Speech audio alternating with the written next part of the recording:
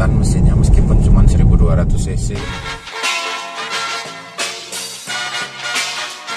Halo teman semua, selamat datang di channel Ardi Mobi. Channel yang akan memberikan informasi seputar otomotif, baik motor ataupun mobil. Semoga informasi dari kami memberi manfaat buat kamu. Tapi sebelum kita lanjut, jangan lupa support channel ini dengan menekan tombol subscribe dan tekan tombol lonceng agar kamu bisa terus dapat informasi dari kami.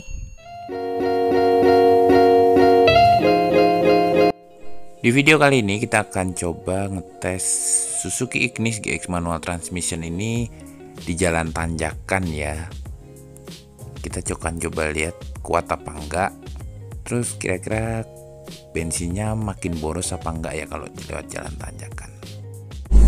Oke, teman-teman, kita coba mobil Ignisnya ke atas. Ush.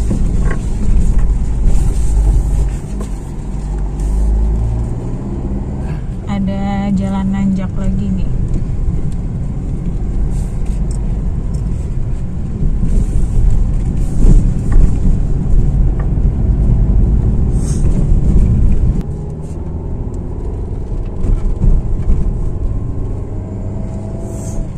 kalau jalan nanjak kayak gini kita harus pakai giginya satu atau dua ya soalnya kalau pakai gigi yang yang gigit gigi atas gigi tiga gigi empat gigi lima dia nggak akan kuat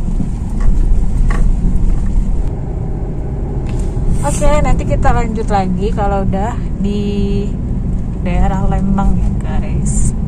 Di Jalan Cisarua Lembang. oke kita Guys. sekarang cari tanjakan dulu guys Ini biasanya jalanannya meliuk-liuk ya.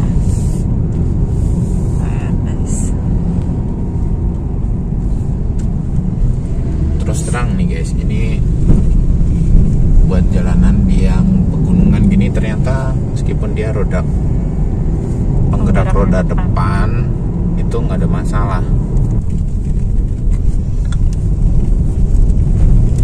gelap guys. Ini soalnya mendung guys.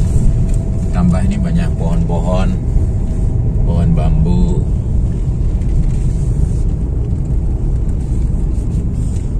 Ini nis nis setirnya enteng banget ya guys ya. Jadi kalau misalnya kita belok-belok kayak gini nggak ada masalah. Nggak capek guys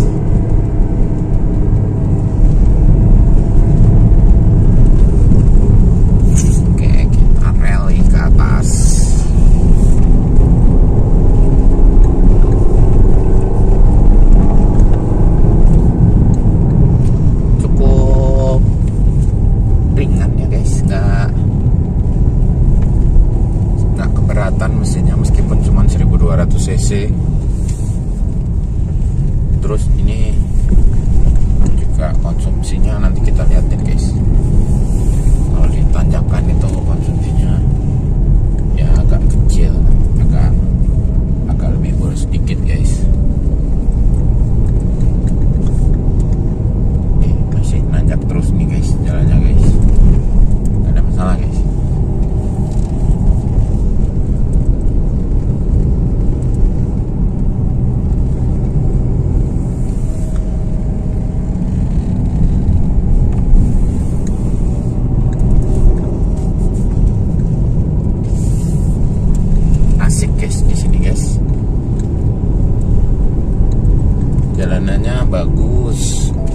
meskipun menanjak tuh pemandangannya bagus. Plus kita naik Ignis ini apa ya namanya fun to drive nih guys. Jadi kalau nyetirnya itu kayak kita main go kart tuh guys. Mobilnya kecil tapi lincah. Jadi kayak serasa naik mobil mainan nih guys. Enak serius